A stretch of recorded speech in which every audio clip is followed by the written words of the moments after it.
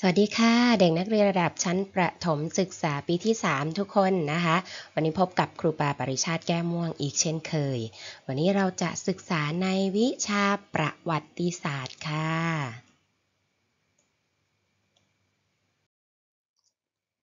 หนังสือที่เด็กๆจะได้เรียนและก็ศึกษาหาความรู้ก็คือเล่มนี้นะคะ คือแบบเรียนนะคะ และอีกเล่มหนึ่งเล่มนี้นะคะ จะเป็นแบบฝึกหัดที่ต้องทำงานที่คุณครูมอบหมายให้นะคะเรื่องแรกที่จะเรียนรู้เลยก็คือ การใช้ศักราชตามปฏิทินไทยและปฏิทินสากลนะคะ หน่วยการเรียนรู้ที่หนึ่งนั่นเอง การใช้ศักราชตามปฏิทินไทยและปฏิทินสากลนะคะศักราชหมายถึง ปีนะคะศักราชหมายถึงปี ในปฏิทินไทยจะปรากฏศักราชอยู่ 2 แบบก็คือ พุทธศักราชและคริสต์ศักราชค่ะ นี่นะคะตัวอย่างนะคะ เดือนพฤษภาคม พุทธศักราช 2564 นะคะ ส่วนอันนี้ก็จะเป็นเมนะคะ2021 ก็จะเป็นคริสต์ศักราชนะคะ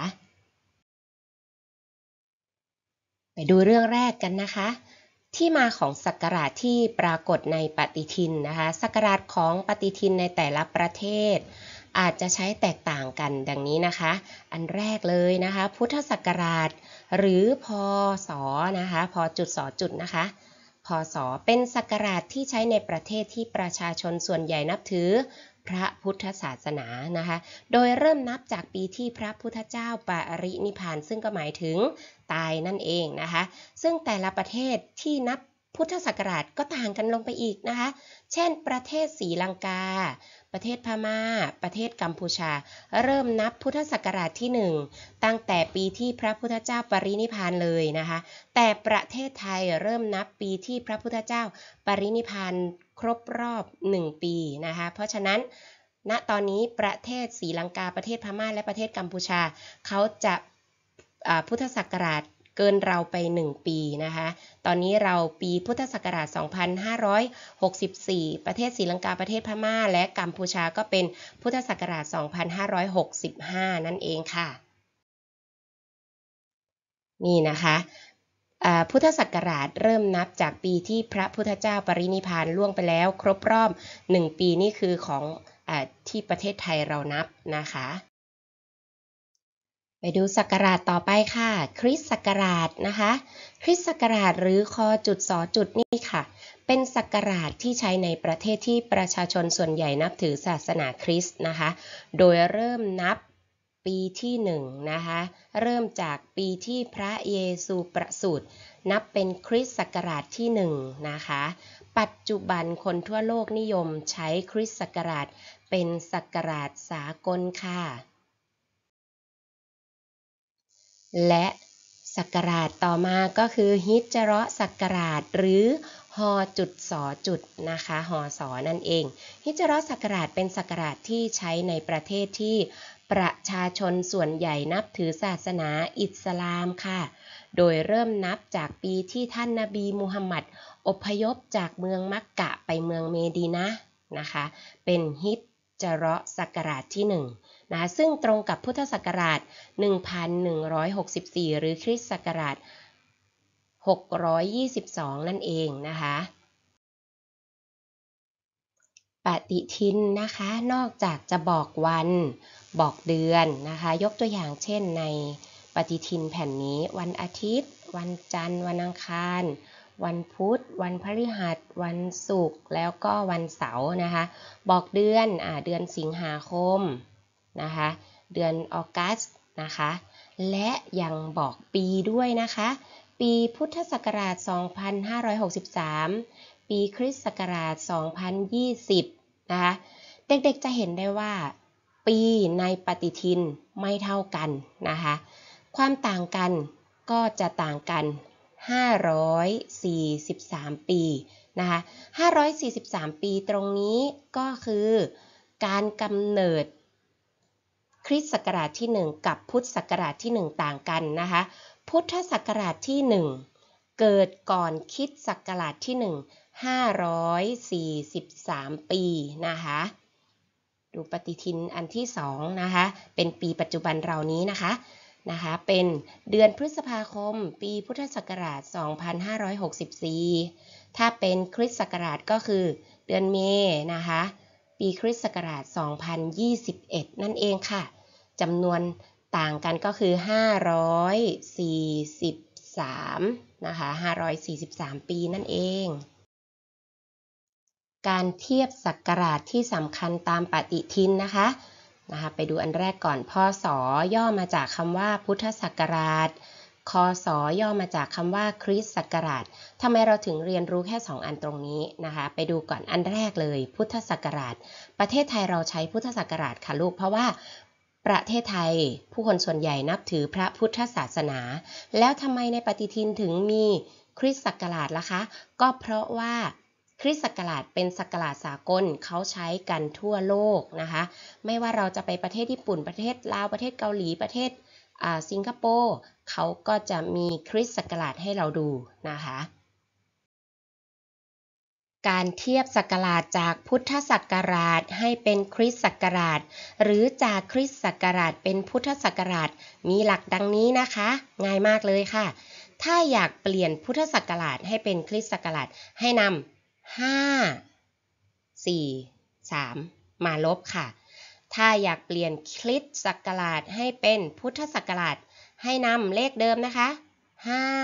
สี่สามมาบวกค่ะ หลักการจำที่ครูปาจะให้ก็คือ อยากทราบคริสให้ลบ อยากทราบพุทธให้บวกค่ะ บวกด้วย 5 4 3 ลบด้วย 5 4 3 นะคะ5 4 3 นี่ก็มาจากปีที่กำเนิด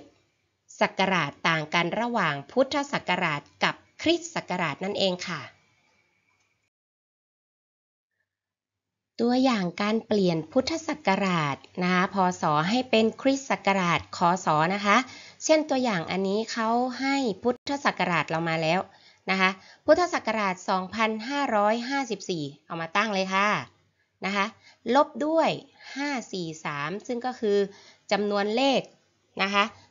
543 ที่เราจะต้องมาลบนะคะ เอามาตั้งตรงนี้เหมือนกันนะคะ เอามาลบเลย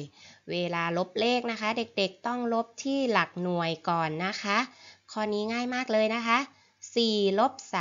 3 เหลือ 1 ค่ะ 5ละคะ5ตรงนี้ลบออก 4 ก็ง่ายมากเลย ก็เหลือ 1 เหมือนกันค่ะ 5 ลบ 5 เหลือ 0 2ทำยังไงคะ 2 ดึงลงมาเลยค่ะ นี่ค่ะได้คำตอบแล้วว่า ปีพุทธศักราช 2554 จะตรงกับปีคริสต์ศักราช 2011 ค่ะ 2011 นะคะะตัวอย่างอันที่สองข้างล่างนะคะ ตัวอย่างการเปลี่ยนคริสต์ศักราช คศ ให้เป็นพุทธศักราช พศ นะคะโจทย์อันนี้เราจะทราบคริสต์ศักราชแล้วนะคะ เราก็นำคริสต์ศักราชมาตั้งเลยค่ะนะคะ ตั้งขึ้น แล้วบวกด้วย 5 4 3นะคะบวกด้วย 5 4 3นะคะอ่าหลักการบวกก็เหมือนกัน เราต้องบวกจากหลักหน่วย ไล่ไปหลักสิบหลักร้อยนะคะ8บวก3นะคะเก็บ 8 ไว้ในใจชูขึ้นมาอีก 3 นิ้ว 8 แล้วก็ 9 10 11 ใช่ไหมคะ11 เราจะต้องใส่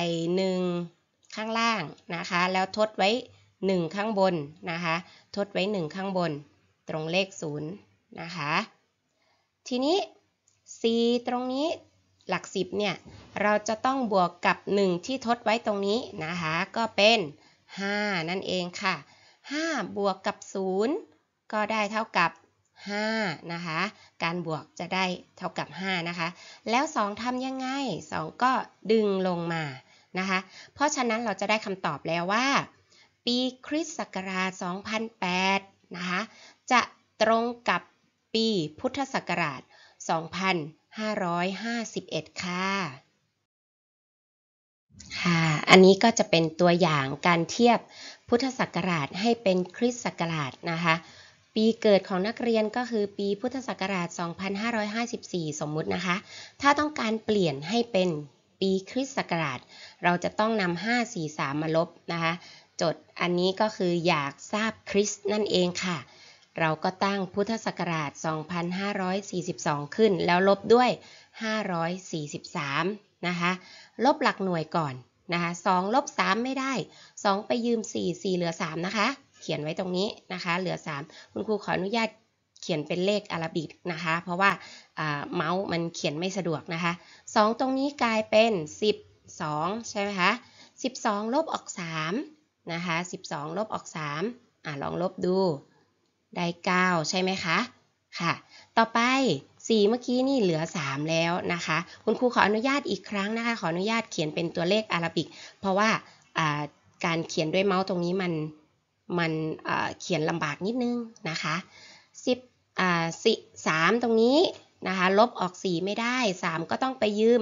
5 5 ก็เหลืออะไรคะ 5 ก็เหลือเท่ากับ 4 แต่ 3 กลายเป็น13ค่ะ 13 ลบออก 4 ก็เท่ากับ 9 นะคะ 4 ละคะ 4 ลบออก 5 ได้ไหม ไม่ได้ 4 ก็ต้องไปยืม 2 2 ก็เหลือเท่าไหร่คะ 2 เหลือ 1 4 กลายเป็น 14 14 ลบ 5 เหลือ 9 ค่ะ เมื่อกี้ 2 เหลือ 1 ใช่ไหมคะ 1 ก็ดึงลงมาได้เลยค่ะ เพราะฉะนั้นคำตอบนะคะก็คือ ปีคริสต์ศักราช 1999 คือปีเกิดของนักเรียนนะคะอ่าอันนี้ก็จะเป็นตัวอย่างการเทียบปีที่เกี่ยวข้องกับนักเรียนใช่ไหมคะ ยกตัวอย่างเมื่อกี้นะคะ เหตุการณ์ที่เกี่ยวข้องกับนักเรียน เกิดเมื่อพุทธศักราช ปีพุทธศักราช 2542 ก็จะตรงกับ ปีคริสต์ศักราช 1999 เมื่อขึ้นไปเรียนอยู่ชั้นประถมศึกษาปีที่หนึ่งก็เป็นปีพุทธศักราช 2551 อ่า ตรงกับปีคริสต์ศักราช 2008 ค่ะ อยู่ชั้นป .2 ก็เลื่อนขึ้นทีละ 1 ปีป .3 ก็เลื่อนมา 1 ปีเหมือนกันค่ะ จบแล้วนะคะ การนำเสนอฝากให้เด็กๆไปทำงานค่ะ อันนี้จะมอบหมายงานแล้วนะคะ ให้เด็กๆหยิบหนังสือประวัติศาสตร์เล่มนี้ขึ้นมาเลยนะคะ แล้วก็นี่ค่ะเล่มนี้นะคะที่อยู่บนหน้าจอหนูนี่นะคะ แล้วก็เปิดแบบฝึกหัดไปนะคะ ก็จะเป็นงานแรกของเรานะงานแรกก็ให้หนูดูปฏิทินเลยนะคะ ดูปฏิทินอ่าปฏิทินนี้ก็จะให้มาทั้งเป็นพุทธศักราช แล้วก็คริสต์ศักราชในภาพอาจจะเบลอนิดนึงนะคะ แต่ว่าในหนังสือนักเรียนไม่เบลอแน่นอนค่ะ เขาถามว่าวันเด็กตรงกับวันใดเด็กๆคะวันเด็กวันเด็กนะคะวันเด็กแห่งชาติ วันเด็กนะคะตรงกับวันเสาร์ในสัปดาห์ที่ 2 ของเดือนมกราคม เพราะฉะนั้นก็จะเป็นวันที่เท่าไหร่คะลูก วันที่9นะคะ วันที่ 9 แล้วก็เขียนตรงนี้ไป วัน วันอะไรเอ่ย วันเสาร์ วันเสาร์ที่ 9 แล้วปีคริสต์ศักราชล่ะคะ ก็ดูตรงมุมมุมขวามือตรงนี้นะคะ ภาพอาจจะเบลอนะคะ ย้ำอีกรอบหนึ่ง แต่ในหนังสือแบบฝึกหัดหนูไม่เบลอแน่นอนค่ะนะคะ โจทย์ข้อ2ล่ะคะ ปุ๊กปิ๊กเกิดวันที่ 15 มกราคม ปีคริสต์ศักราช 2007 ตามปฏิทินปุ๊กปิ๊กจะอายุเท่าไหร่ เด็กๆก็เอาปีปฏิทินเนี้ยตั้งขึ้นแล้วก็ลบด้วยปีเกิดได้เลยนะคะคำตอบที่ได้ก็เขียนใส่ตรงนี้นะคะ ส่วน 1.3 ถ้าปุ๊กปิ๊กเรียนอยู่ชั้นประถมศึกษาปีที่ 3 นะคะ ปีที่เข้าเรียนชั้นประถมศึกษาปีที่ 5 จะตรงกับคริสต์ศักราชใด ถ้าปีนี้ก็แปลว่า เอาคริสต์ศักราชตรงนี้มาดูว่า เป็นปีอะไร แล้วอยู่ป .3 แล้วใช่ไหมคะ เขาบอกว่าถ้าอยู่ป .5 ก็นับไปเพิ่มอีก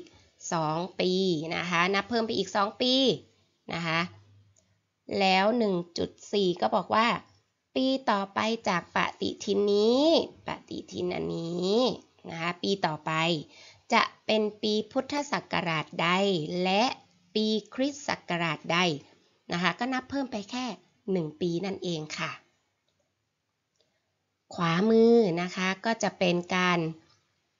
ทำเครื่องหมายถูก แล้วก็กากระบาทอันนี้ง่ายมากเลยค่ะ เด็กๆ อ่านข้อความแล้วก็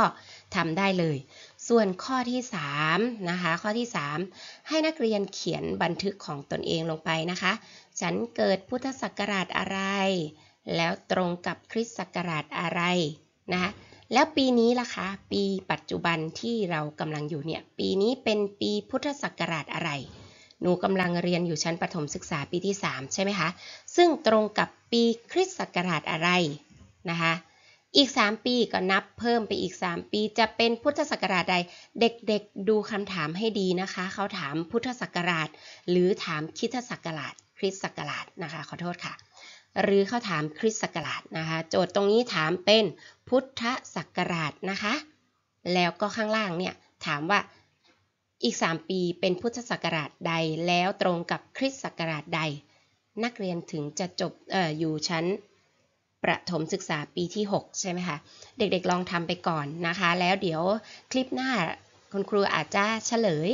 นะคะ ขึ้นเฉลยให้ดู แต่เราต้องลองทดลองทำไปก่อนนะคะ เพื่อทดทดสอบความเข้าใจของตัวเองนะคะสำหรับคลิปนี้ชั่วโมงนี้